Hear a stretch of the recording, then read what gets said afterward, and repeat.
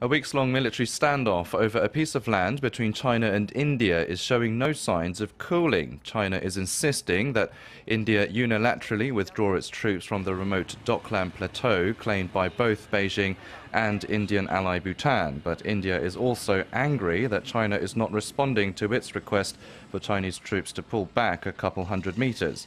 Also, in an apparent preparation for possible conflict and show of force, New Delhi is reportedly scheduled to hold joint military drills with the US in the middle of next month.